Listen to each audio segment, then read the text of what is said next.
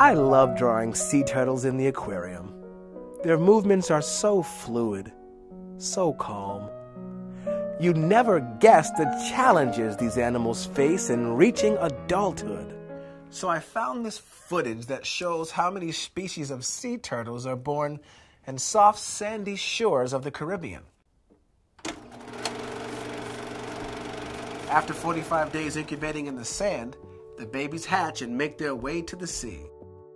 Hold on, Paul. So how are soft sandy beaches a challenge to turtles? or, or anyone for that matter? Well, if you think about how more heat is being trapped in the atmosphere due to human activity, this birthing story runs into problems.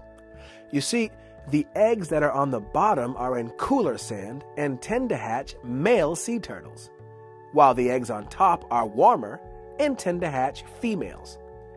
As average temperatures heat up, the sand on the bottom of the pit gets warmer, which means more and more female turtles hatch. Ah, so, so more female sea turtles and fewer males can be a challenge. Right, Sam.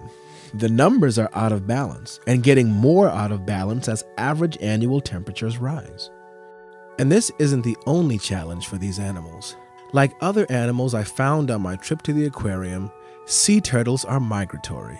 The Kemp's Ridley sea turtle, for instance, goes north for the summer and then south in the winter, sometimes a round trip of several thousand miles. But the trip south can be another challenge for them, especially if they summer in places like the Cape Cod Bay. Here, the water stays temperate well into the late fall or winter, but there can be a sudden cold snap, and this bay water can drop down below 50 degrees. The turtles are then stunned.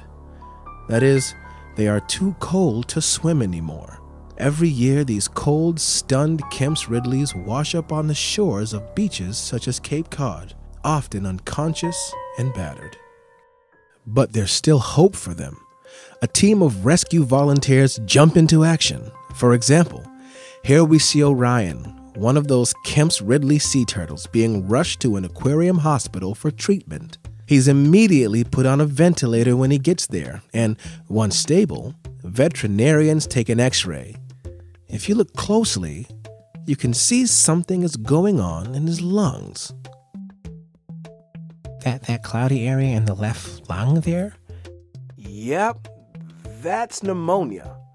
But even with pneumonia, the veterinary team has a plan for full recovery. Biopsies, CAT scans, antibiotics, and even a turtle treadmill. And after six months, Orion's pneumonia clears up, and he's released into the Cape Cod Bay and begins the long journey home with a little GPS to see if he stays on track. Do turtles often get lost on such a long journey? no, Sam. The GPS gives scientists data on their migratory patterns. Actually, sea turtles have an amazing sense of direction. In fact, when they reach their own parenting age, at around 10 years old, they know how to make it back to the very beach where they were first born. And here again, a hotter atmosphere can make for another big challenge. More CO2 in the atmosphere thickens that blanket, trapping more heat and making oceans hotter and higher. Higher oceans mean less beach for the sea turtles. So some turtles make the long journey home to find that their birth beach is no longer there. Sadly true. But to alleviate this challenge to the turtles, there are some things that we can do every day to reduce our blanket creating output. Just like the volunteers on the beaches of Cape Cod, many communities are pulling together to change their routines and habits, to produce less carbon and keep the turtles' beaches above water.